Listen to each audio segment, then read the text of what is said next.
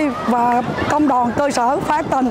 đã tạo điều kiện cho chúng em có một ngày thật là thú vị, trải nghiệm